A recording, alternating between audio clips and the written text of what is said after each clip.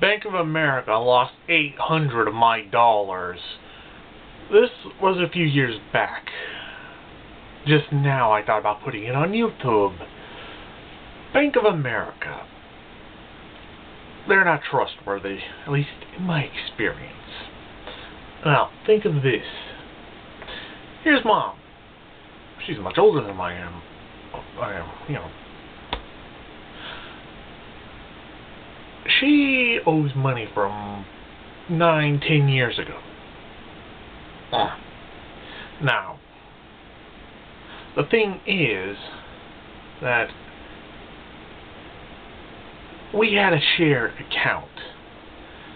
I left 800 of my dollars, my money, in the shared account. She owed money. Bank of America did not notify me when my money was just given away. Yes, I know, shared account, mom owed money. I was stupid. I didn't know that. I didn't know she owed money. Now, they didn't leave me a fax number, a phone number. They didn't leave me with the name of the company, the person. They didn't notify me, period. Hmm. $800. They did not notify me or nothing. I called up there because I got a bad feeling.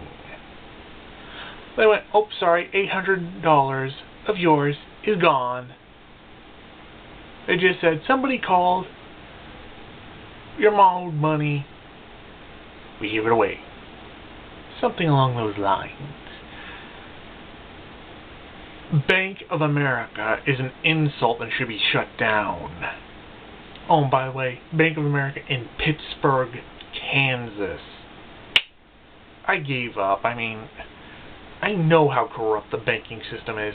I know how much they royally screw people over.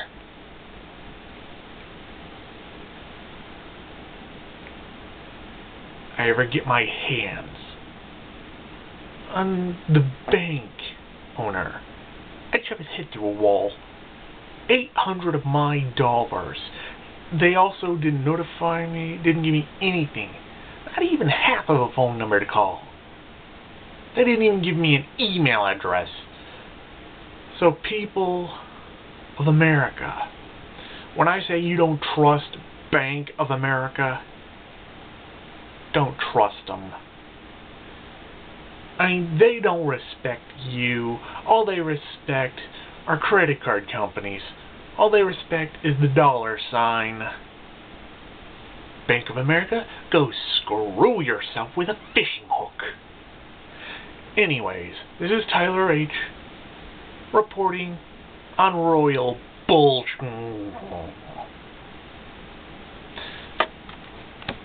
Oh, and again, Bank of America, go F yourself with a fishing hook that's rusty.